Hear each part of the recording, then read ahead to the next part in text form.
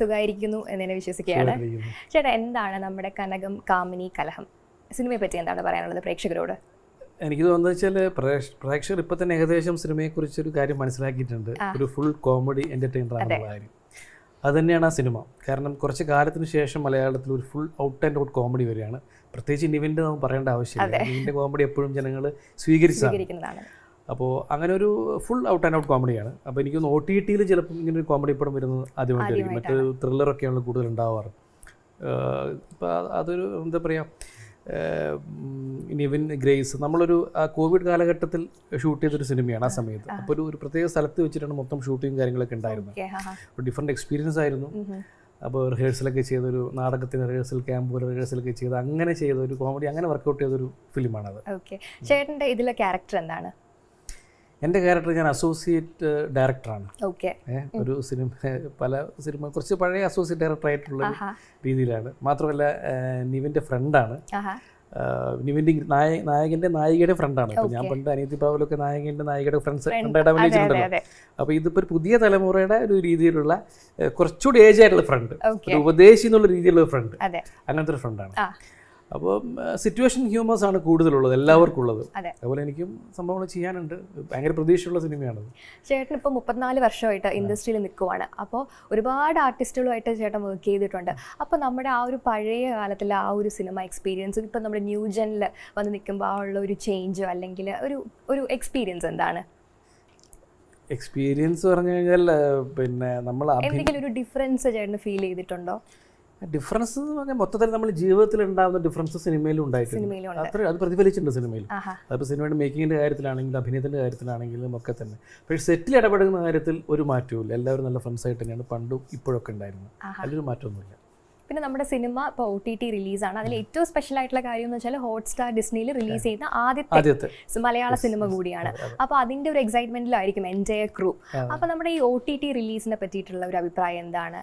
O T T release വളരെ നല്ല അഭിപ്രായമാണ്. കാരണം നമുക്ക് ഈ ഒ ടി ടി റിലീസ് എന്ന് പറഞ്ഞാൽ നമ്മൾ നിവൃത്തിയില്ലാത്ത സംഭവിച്ച ഒരു കാര്യമാണ് തിയേറ്ററിൽ അടച്ചുപൂട്ടി നിവൃത്തിയില്ല ഒ ടി ടി റിലീസ് ചെയ്തേ പറ്റുള്ളൂ സിനിമകളൊക്കെ. അങ്ങനെ വന്നതാണ്. അപ്പോൾ അപ്പോൾ അത് അതുകൊണ്ട് തന്നെ ഒ ടി ടി റിലീസ് ചെയ്യാൻ വേണ്ടിയിട്ട് കുറേ സിനിമകൾ ഇപ്പം ചെയ്തിട്ടുണ്ട്. കുറേ പടങ്ങൾ റിലീസാവുകയും ചെയ്തു. അതൊക്കെ തന്നെ വളരെ നല്ല സിനിമകളായിരുന്നു. വളരെ നല്ല രീതിയിൽ ജനം സ്വീകരിച്ചു. പക്ഷേ അതേ സമയത്ത് കോവിഡിന് മുമ്പായിട്ട് ചിത്രീകരിച്ച കുറച്ച് സിനിമകളുണ്ട്. ഷൂട്ടിംഗ് ഇപ്പോഴും ബാലൻസ് ഉണ്ട്. അതൊന്നും ഒ ടി ടി ചെയ്യാൻ പറ്റില്ല. അത് ബിഗ് സ്ക്രീനിൽ തന്നെ കാണിക്കാൻ പറ്റുള്ളൂ. അങ്ങനെയുള്ള സിനിമകൾ ഇപ്പോഴും പെൻഡിങ്ങിലുണ്ട്. ഇപ്പോഴും ഞാൻ ചെയ്തൊരു സിനിമ നിവിൻ തന്നെ അഭിനയിച്ച പടവെട്ടു എന്ന് പറഞ്ഞ സിനിമ അതിപ്പോഴും ക്ലൈമാക്സ് ഷൂട്ടിംഗ് ബാലൻസ് ആണ്. ക്ലൈമാക്സ് ഒരു പത്ത് പതിനഞ്ച് പതിനെട്ട് ദിവസത്തോളം ക്ലൈമാക്സ് തന്നെ വരും. അത്രയും ഫുൾ ക്രൗഡുള്ള വേണ്ടിയ ഒരു സിനിമയാണ്. അപ്പോൾ അത് പെർമിഷൻ കിട്ടിയാലേ ചെയ്യാൻ പറ്റുള്ളൂ. അങ്ങനെയുള്ള സിനിമകൾ എന്തായാലും ബിഗ് സ്ക്രീനിൽ തന്നെ കാണാൻ പറ്റുള്ളൂ. പക്ഷേ അതൊരു കോമൺ കമേഴ്ഷ്യൽ അടിപൊളി പടമാണ്. ഇതെന്ന് പറഞ്ഞാൽ ഒ ടി ടിയിലാവുമ്പോൾ എന്താ വെച്ചാൽ എല്ലാവർക്കും കാണാം എല്ലാവർക്കും അഭിപ്രായങ്ങൾ പറയാം.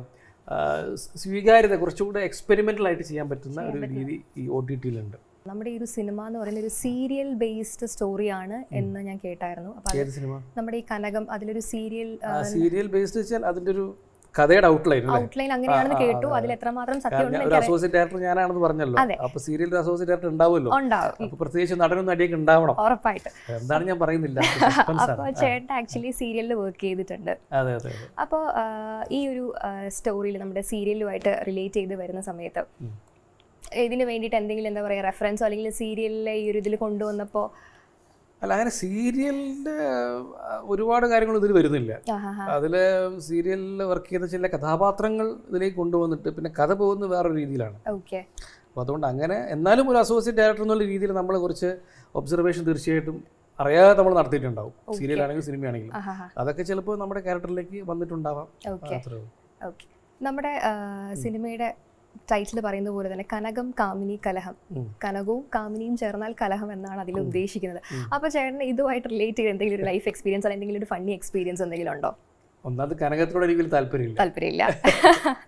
പിന്നെ കാമിനി എന്ന് പറയുമ്പോൾ പ്രണയിനി. അതെ. എന്റെ പ്രണയിനിക്കും പിന്നെ കനകത്തോട് വലിയ താല്പര്യമില്ല. അപ്പൊ കലഹം ഉണ്ടാവാറില്ല. ഓക്കെ. അതാണ് എന്റെ എക്സ്പീരിയൻസ് ഓക്കെ. ചേട്ടാ പിന്നെ നമ്മുടെ ഈ സെറ്റിൽ എന്തെങ്കിലും ഫണ്ണി എക്സ്പീരിയൻസ് എന്തെങ്കിലും ഉണ്ടായിട്ടുണ്ടോ? കനകത്തിന്റെ തന്നെ. സെറ്റിൽ എന്ന് പറയുകയാണെങ്കിൽ ഞങ്ങളുടെ മെയിൻ ഫണ്ണി എക്സ്പീരിയൻസ് പറയുകയാണെങ്കിൽ നമ്മുടെ ജാഫർ ഇടിക്കില്ലേ ജാഫർ ജാഫർക്കയിൽ ജാഫർ കെയിൽ ഗംഭീര വേഷമാണ് ഈ പടം ചെയ്തിരിക്കുന്നത്. അതിൽ പടം വരുമ്പോൾ മനസ്സിലാവും. പക്ഷേ സിനിമയിൽ മാത്രമല്ല അദ്ദേഹം അവിടെ സെറ്റിൽ ഫുൾ ആക്റ്റീവായിട്ട് നമ്മളെയൊക്കെ എന്താ പറയുക പ്രചോദനം നൽകി ഇങ്ങനെ കൂട്ടി നടക്കുന്ന ഒരു ഒരു കലാകാരനായിരുന്നു പുള്ളി. അപ്പോൾ പുള്ളിയുടെ കോമഡി എന്നൊക്കെ പറയാൻ പ്രത്യേകിച്ച് പറയാൻ പറ്റില്ല. ആ സിറ്റുവേഷൻ അനുസരിച്ചിട്ടുള്ള ആ സമയത്ത് പറയുന്ന ഓരോ കാര്യങ്ങൾ. കഥകളായിട്ടല്ല. ആ സമയത്ത് ഇങ്ങനെ പക്ഷെ അത് ഭയങ്കര രസമായിരുന്നു. ജാഫർ ഖാന്റെ കൂടെ ഒരുമിച്ച് വർക്ക് ചെയ്യാന്ന് പറയുന്നത്. പിന്നെ എല്ലാവരും ഇപ്പൊ ഡയറക്ടറും ഭയങ്കര രസം ഹ്യൂമറിന്റെ ആളാണ്.